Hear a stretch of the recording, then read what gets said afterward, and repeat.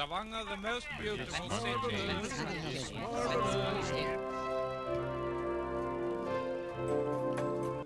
Stavanger starter med regn i morgentimene, men det skal slutte i løpet av dagen. Og i morgen så skal det faktisk være sol.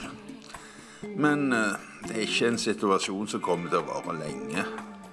For allerede på fredag er regnet tilbake igjen. Så det gode, gamle Stavanger-været, det gir seg nå ikke, da. Så de som måtte være redde for å ikke få oppleve det, da. Hvem nå som måtte være så galne, det vet ikke jeg. Nei, det er trist med alt det dårlige været i Stavanger.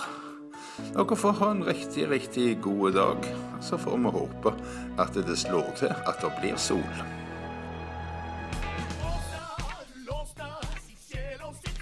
Altså, nå har vi jo kommet i en sånn situasjon at nå må jo noe gjøres. Det. Som jo skjedde, var at eh, Åse Kleveland fikk en sånn fiks idé.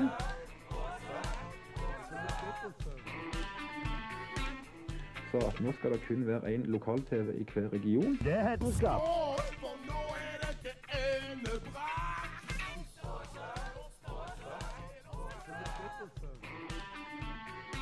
Og det er hedenskap. Hedenskap holdt ut.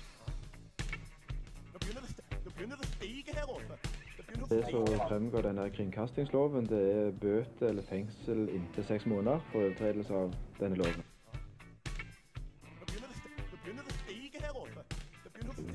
Da var det sånn de jobba under krigen òg, for å finne disse her sabotørene. Du skal folk ut.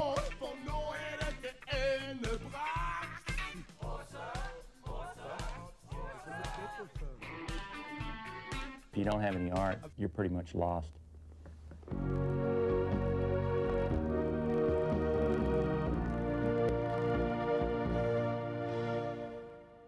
Hedenskap folk ut uten. Det.